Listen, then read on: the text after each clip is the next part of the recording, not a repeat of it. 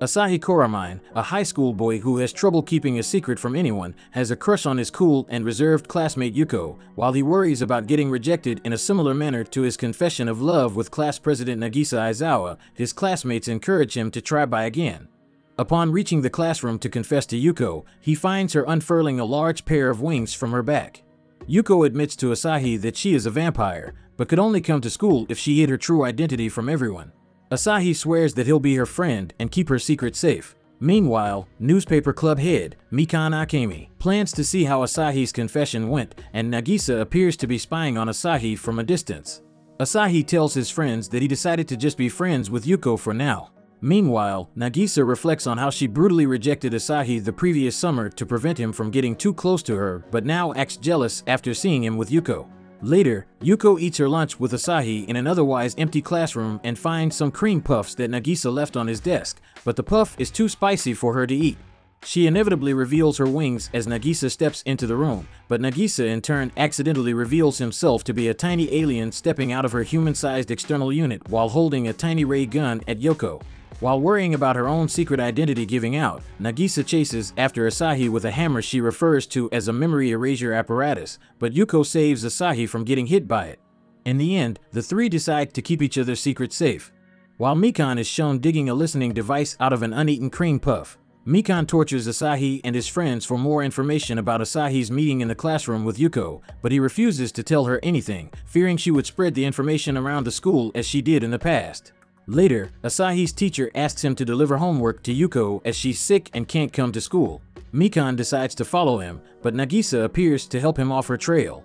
Asahi decides to stop for a brief visit at Yuko's student's apartment, but gets a call from Nagisa that Mikan managed to get past her and run to Yuko's house. Mikan is accidentally knocked unconscious after being buried under a pile of Yuko's junk from the closet, but decides to Photoshop a romantic encounter between Asahi and Yuko and threatens to display it throughout the school. Asahi confronts Mikan on the rooftop and begs her not to do it, but depleting only makes her stronger, so Asahi takes the opposite route and decides to let her put up the pictures, draining her resolve as she didn't want him to feel happy. After school, a spirit residing in Mikan's glasses assumes that she secretly has feelings for Asahi, but Mikan angrily denies this as she twists her own glasses around. Nagisa begs Asahi for her help as her external unit ran out of battery power before it could recharge, and she was forced to come to him in her Lilliputian form.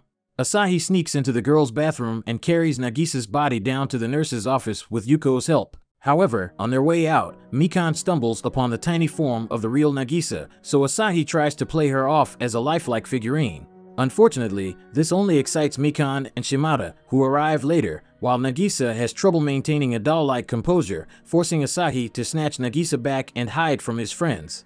After taking shelter in the gym storage shed, Nagisa mysteriously grows to human size and gets embarrassed about revealing her antenna to Asahi. While Mikan, Shimada, and Yuko all hunt them down, Asahi decides to have the human-sized Nagisa punch him out of the shed and escape, pretending to be angry. A mysterious horned lady magically returns Nagisa to her normal size, while Asahi and Yuko clear up their misunderstanding after school. After discovering that UV rays from sunlight cause Yuko's skin to instantly tan, Nagisa decides to train her into dodging sunlight on her route to and from school. Asahi studies up on vampire weaknesses, while Nagisa encourages Yuko to do a field test with her new training. On the way, they walk through a shopping arcade where Asahi tries to protect Yuko from a salesman offering garlic and crosses. However, like sunlight, their effects on Yuko are much less harmful than their depictions. In popular fiction, crosses simply make her annoyed, and garlic makes her eyes water. After coming across an uncovered bridge, Yuko is about to give up her new daytime route. When Asahi asks if she's tried using sunscreen, Yuko ends up using it for the first time the next day at school. The following weekend, Asahi and Yuko go to an amusement park together. Yuko saw it as a chance to get him closer to Nagisa, but Nagisa declined, seeing it as an opportunity to have Yuko go on a date with Asahi. The two of them go through the attractions, including a haunted house where Yuko was scared at first, but becomes upset at the actor portraying a blood-sucking vampire. Later that evening, Yuko notes that their outing was similar to the relationship that her own parents had with each other, to the point where they even attended her current school together. Meanwhile, Yuko's father is suspicious of Yuko's new boyfriend and tasks the werewolf Shiro Shishido with bringing her back home if her secret has been revealed. While returning home from the amusement park, Asahi and Yuko encounter a scary wolfman with fangs. Yuko recognizes him as her childhood friend Shiro, but he threatens Asahi anyway. When Shiro sees the moon in the evening sky, he ends up transforming into a sexy lady named Shiho. The three then go to Yoko's home, where Shiho explains that she is the dominant personality in the body she shares with Shiro. Shiho then starts teasing Asahi, making Yuko jealous as she reveals that the Wolfman can change at any depiction of the moon, including a picture that she shows to Shiho. Meanwhile, Nagisa heads to Yuko's home to make a peace offering with her homemade cake, but upon arriving, finds Shiho pinning down Asahi and leaves. When she returns a moment later, she sees Shiro in the same position and flees at the sight. Eventually, the girls clear up the misunderstanding, while Shiho tells Yuko in a private moment that she would be more honest about her relationship with Nagisa. The next day, Shiho appears in Nagisa's class as a transfer student, introducing herself as a pervert after being relentlessly teased by Shiho's body in school. Asahi begins to projectile nosebleeds, while Nagisa starts to get jealous. Also, he runs away to meet with Yuko when the two see a tiny girl with horns walking by them. Soon, Yuko decides to speak directly with the girl, who tells Yuko that she's Akane Koumoto related to their homeroom teacher, Akari. The teacher then shows up to wrangle Akane back to her office, where Asahi and Yuko learn that Akane is actually a thousand-year-old devil with real horns and Akari's great-grandmother. Akane also claims that it was thanks to her that the various supernatural creatures were allowed to transfer into the same class, despite Akane's attempts to portray himself as an adult. Yuko keeps baiting her into childish reactions with snacks and claims to be the more mature girl.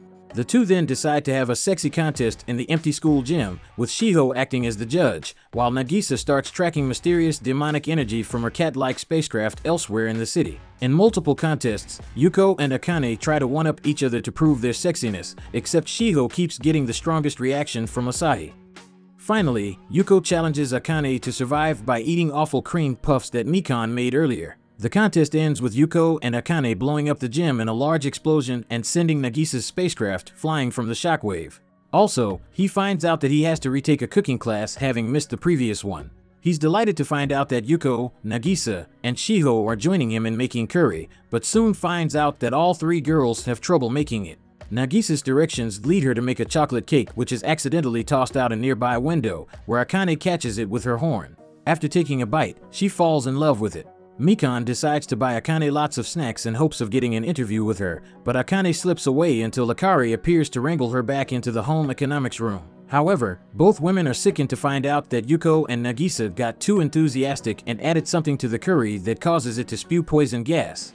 Later that night, Akane breaks down the wall of Akane's apartment and demands that she get Nagisa to make more chocolate for her. When Akari refuses, Akane responds by magically steering an asteroid towards Earth, threatening to destroy the planet. Yuko, Nagisa, and Shiho reunite to make chocolate in the same room, but Akari discovers the asteroid veers off course when Akane loses concentration. So she ties her down to a chair and force feeds her chocolates made by everyone except Nagisa. Even as Akane tries copying herself to reach Nagisa's chocolate, the other girls manage to fight Akane clones off until she loses enough focus that Nagisa comrades in outer space force the asteroid to make a U-turn, saving Earth from destruction. This video ends here. Thank you for watching. If you like this video, please click like, subscribe for more videos like this, and turn on the notification. Don't forget to comment too guys. Well see you.